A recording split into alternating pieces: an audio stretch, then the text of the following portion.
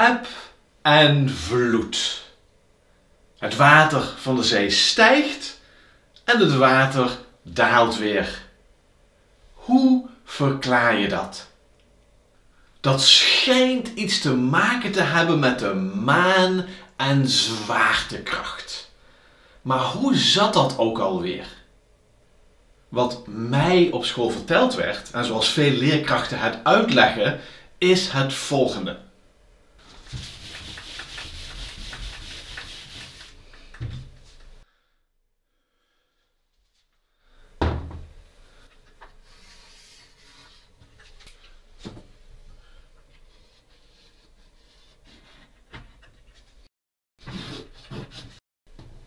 De maan draait om de aarde, omdat deze aangetrokken wordt door de zwaartekracht van de aarde. De aarde voelt ook de zwaartekracht van de maan, maar deze is veel minder sterk omdat de maan veel minder massa heeft. Maar zwaartekracht hangt af van de afstand tot het object.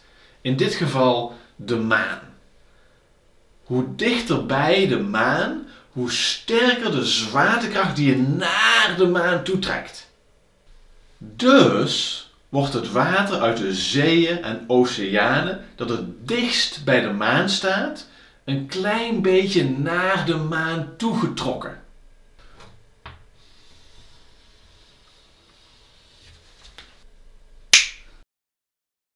Dit is natuurlijk niet op schaal. Het water voelt uiteraard ook de zwaartekracht van de aarde, maar die is overal op het oppervlakte vrijwel hetzelfde. Dus dat maakt geen verschil. Laten we de aarde ronddraaien. Het water beweegt mee. Maar de plek waar de zwaartekracht van de maan het sterkst is, blijft op dezelfde plek.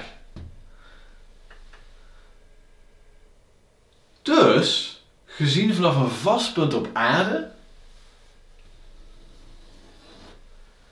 gaat het waterniveau op en neer. En tada! Je hebt eb en vloed. Probleem is alleen dat eb en vloed komen en gaan met een periode van 6 uur. In één dag krijg je dus twee keer eb en twee keer vloed. Maar in dit plaatje krijg je maar één keer eb en één keer vloed in een dag. Dus iets klopt er niet. Hoe krijg je nou twee keer per dag eb en vloed? Hoe zit dat nou met die zwaartekracht? Het antwoord is dat je aan deze kant van de aarde ook vloed krijgt. Maar dat lijkt helemaal niet logisch. Hier is de zwaartekracht van de maan toch het zwakst?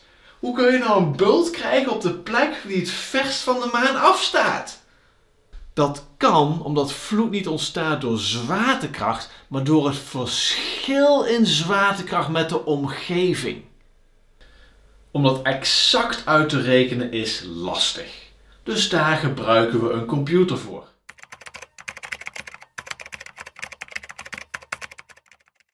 Eerst even dit plaatje.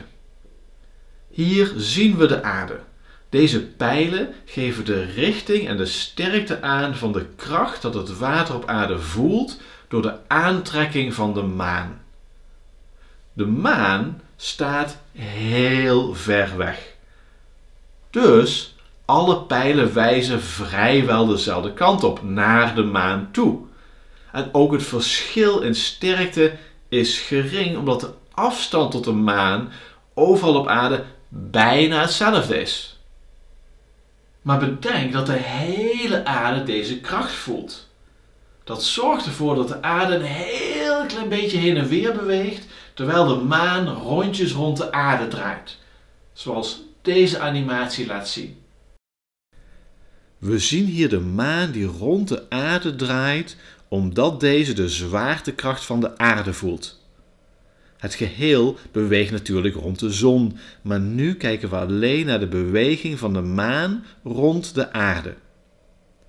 En wat we zien wanneer we inzoomen, is dat de aarde een klein beetje wiebelt door de zwaartekracht van de maan. Alles op aarde beweegt mee en dus merken we helemaal niets van deze beweging. Wat we wel merken is het verschil in zwaartekracht op verschillende plekken op aarde.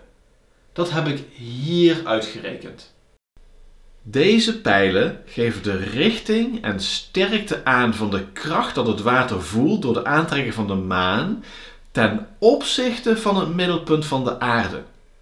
Zo'n kracht noemen we een getijdenkracht. Kunnen we dit plaatje begrijpen? Aan de linkerkant zijn we het verste weg van de maan.